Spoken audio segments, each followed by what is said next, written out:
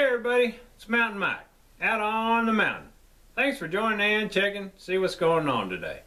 Today I'm going to be configuring my battery bank for my solar system and I just wanted to share with y'all how I was going to do this. Uh, I've looked around on the internet and there's not many people doing it particularly this way. There are people doing it, but there's not much information on doing it this way.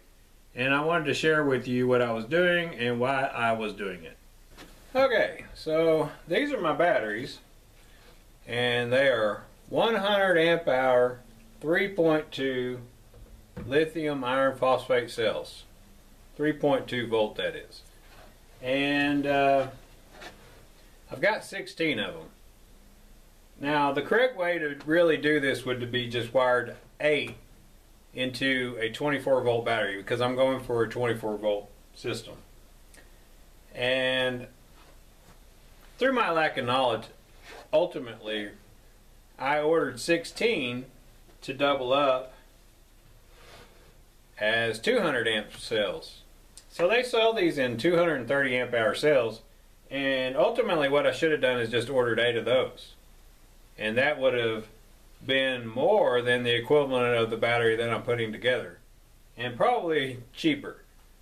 But due to my lack of knowledge, this is how I put my system together. You know, coulda, woulda, shoulda. I wouldn't have done it this way. But since this is what I have, so what I'm going to do is put two cells into parallel times 8. Then I'll have 8 cells that I can wire into series and make my 24 volt battery. And they call these supercells. Or I could take 8 of these and wire them into a 24 volt battery and another 8 into a 24 volt battery and just put those into parallel. But in that sense, I'll have to have two BMSs for the batteries. But running it this way, I only have to have one. Now the BMS is the battery management system and its job is to read what's going on with each individual cell. And this is where you get into the disadvantage of wiring or configuring your batteries this way because the BMS can only tell you what's going on in that pair of cells, that supercell. So people don't like this configuration because you can't monitor each cell individually and maybe in the future I'll rewire it in the other configuration but I'll have to buy another BMS because I only have one. So I've asked the, the company that I bought these from and the, the company that I bought the BMS from, both about configuring my batteries this way or the other way.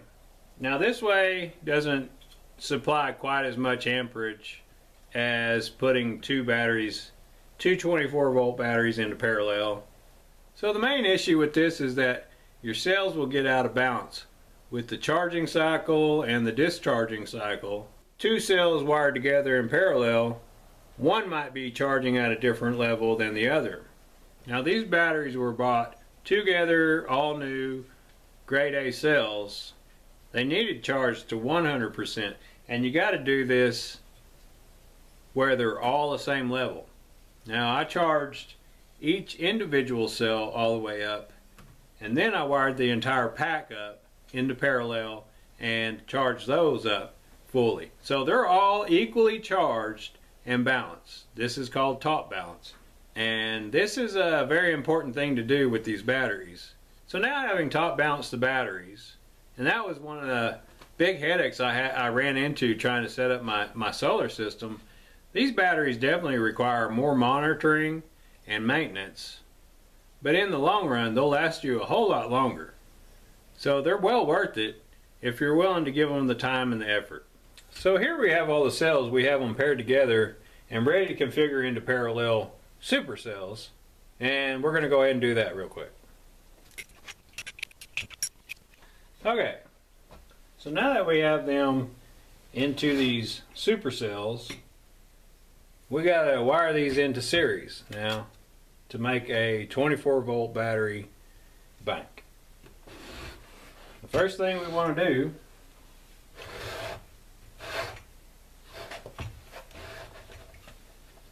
we got negative and positive, negative and positive.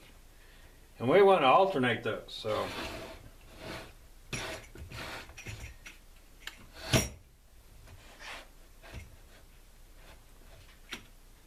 we're going to do that all the way down by flipping each one. So each one's going to alternate. This one starts with negative. This one's going to start with positive. This one's going to start with negative. Be positive.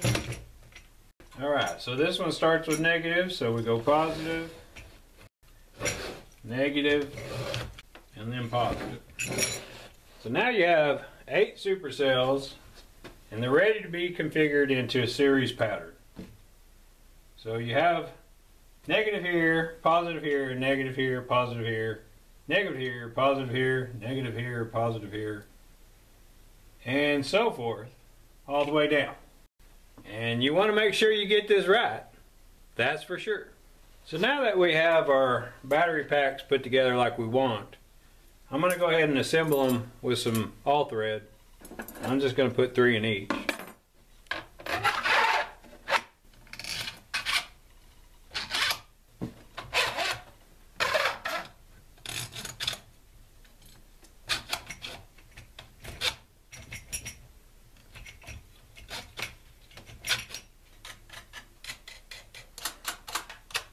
So now I have all 16 cells configured into 8 cells and they are set up in two different banks. Now they're ready to be set up into one 24 volt battery. So we're going to use this style of bus bar to jump across the two style batteries. Now the first thing we want to do is to wire these two cells into series, just like this. And then we're going to continue building this circuit all the way through the battery. And we're going to continue the circuit to this side, negative to positive. So we have positive here, negative, positive, negative, positive. And we're going to wire these into series, continuing the series. And then negative to positive. Continuing the series.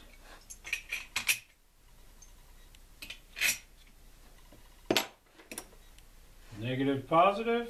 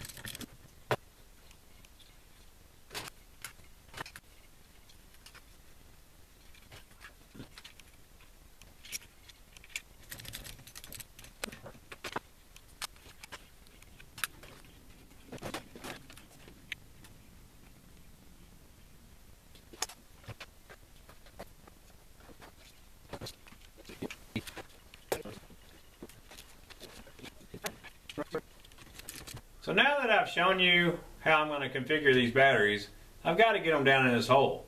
And the first thing I'm going to do is take one at a time. So I've undone them so I can get them down in this hole. And then I'm going to configure them down in this hole so I can't really do the filming for that. But I'll check back with you when I'm done and show you what I got. Well, I'm Mountain Mike, out on the mountain. Till next time,